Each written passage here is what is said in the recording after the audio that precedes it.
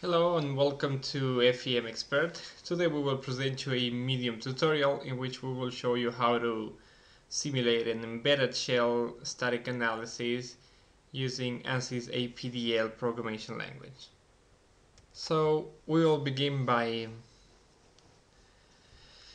uh, very by using uh, the ANSYS uh, interface. There's multiple ways to simulate a to create a a shell, but since we're going to use the APDL command orders, we're going to do it in a more interesting way. So the first step is to create, we're going to create two key points on the origin. One is going to be the first key point on the origin, we just have to type k comma, and we will create, oh, first we have to go to preprocessor, then we create k comma, and we'll create the first key point. You see there's point and there's a key point here and we'll create a second key point we put comma for the num name number of key point if we don't want to assign it. Comma for the x comma for the z y and for the z we'll put at 100 millimeters. So if we have done that correctly there's two key points which we're going to verify with the k-list comma p. There's one here and there's one there. There's two key points here. So our next step is going we're going to create another key point at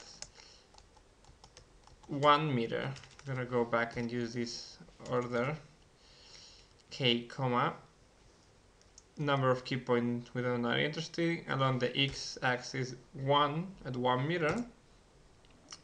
And we're going to create a key a, a line between key points 1 and 3 we know the, the have been progressively assigned, so we have 1, 2, 3. For the line, we're going to do L, comma 1, comma 3. We hit enter, and we have created the line between 1 and 3. We're going to repeat the procedure, L, comma 1, comma 2.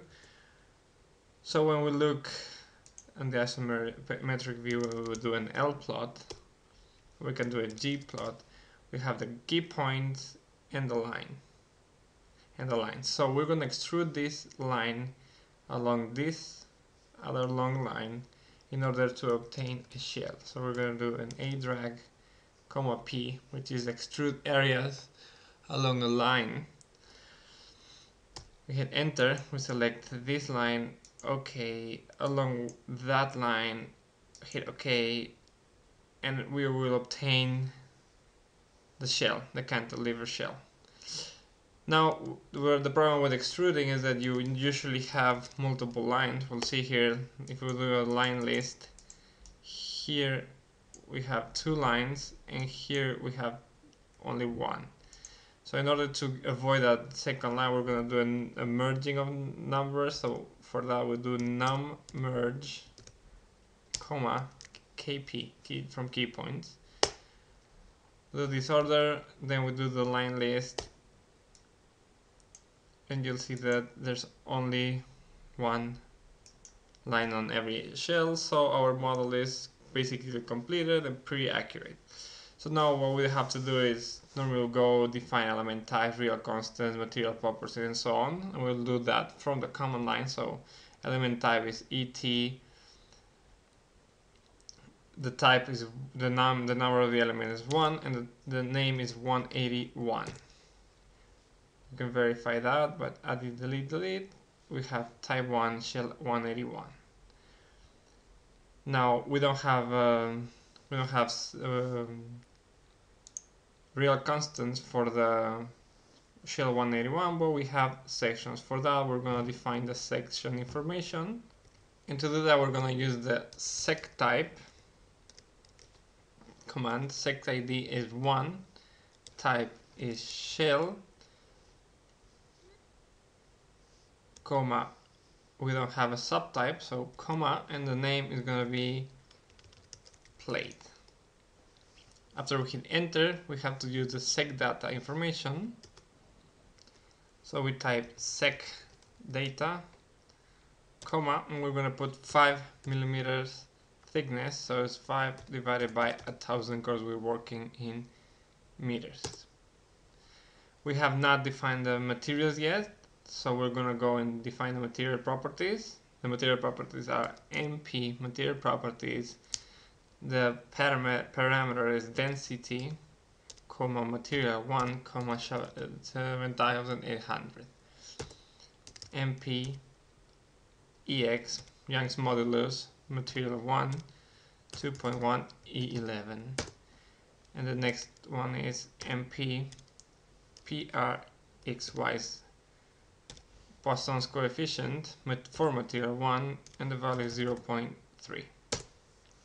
We can check that by going and looking at the material models. And indeed we have properly defined material model. Okay, so we have the element types, the material properties, the sections defined. Now you have to use the element size perform the modeling and assign the properties of the area. So right now what we have here is we have our shell, but as it doesn't know that this area, this shell has the properties that we define. That can be you those can be introduced with the AATT area properties, and it, it will it will just have to give the right properties here. For the material, I have material one. For the real constant, there's no real constant type is 1 for the element system we don't have it so section 1 so now we should have this if we do an alist comma pick we have those properties assigned material type and section. We close this. We're gonna do the element size so we can do the area element size comma all areas and the size is going to be 0.25 then we proceed to perform an a mesh comma all and we'll obtain four elements because we chose a very large meshing size. Because it's too big we're gonna do an a clear which gets rid of the meshing. A plot a plot and a a a size that all comma all comma 25 divided by a thousand. We're going to use a 25 millimeter meshing so mm, a mesh comma all. And as you can see we have a very high quality meshing which is looks quite good. Okay so now we have the model we have it meshed. What we'll have to do now is um, put the, the boundary conditions and the forces. For the boundary conditions, we're going to use the dk comma p displacement on key points comma pick, and we're going to select these two key points, all degrees of freedom, value zero, and we're to use the forces fk comma p for on key points. They're to be on the y direction equal to minus 50 newtons. Oops, I think I, I, did, I made a little mistake. I'm gonna delete all the all the forces because I think I put a force here by mistake. Okay, yeah. So we repeat the FK order, FK comma pick. We select these two nodes, key points, minus 50 Okay. So now what we have to do is go to Solu and solve.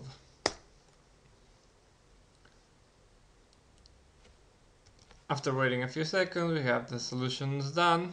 And to plot the result, we have to do a post 1 to enter the general post-processing menu. And here we'll do PLNSOL, plot nodal solutions, U displacement summation. And as you can see we have the displacement summation plot. We can go back and do stress equivalent which is for the stress we can do plvect comma u for displacement. Is a vect the vectoral displacement plot? And you can also we're gonna go to the summation, you can use the slash e shape comma 1 comma 1 which introduces the the plotting of the shell taking into consideration the thickness that we assign to it. So that's pretty much for today. I'm gonna go and close ANSYS so now you know how to use the shell models and into the APDL command lines.